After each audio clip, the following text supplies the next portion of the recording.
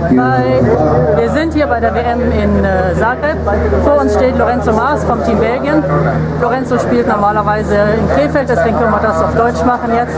Wunderbar. Erstmal Glückwunsch zu dem wichtigen Sieg. Ich meine, ihr seid Aufsteiger und ist dann wohl Klassenerhalt euer erstes Ziel. Indirekt. Also wir haben uns schon das Ziel gesetzt, ähm, eine Medaille zu holen. Wir wären natürlich zufrieden, wenn wir in der Gruppe bleiben.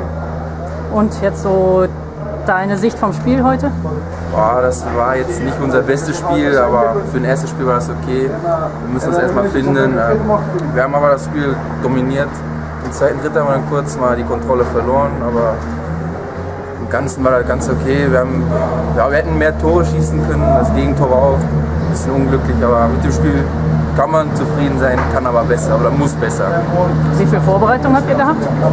Ja, wir haben äh, fünf Wochen haben wir regelmäßig trainiert, aber eine richtige Vorbereitung wie jetzt andere Länder in höheren Gruppen haben wir nicht. Dafür haben viele einfach keine Zeit, weil wir alle einen Job haben. Und, aber wir haben uns gut vorbereitet, besser als die anderen Jahre. Und, ähm, wir haben auch zwei Vorbereitungsspiele gehabt gegen Holland, da haben wir gut gespielt. Und, ähm, man kann zufrieden sein. Es steigert sich. Wie war eure Anreise, eure Unterkunft? Flugzeug war gut, ähm, Hotel ist schön, sauber, Essen ist okay, alles okay.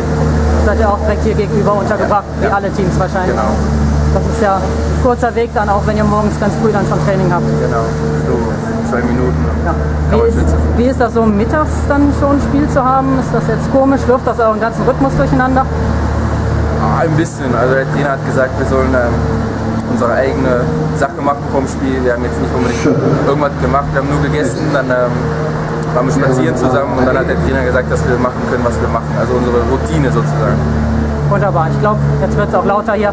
Sagen wir erstmal Danke, halten dich nicht länger auf. Wir sehen uns die Tage ja bestimmt noch. Gut, danke schön.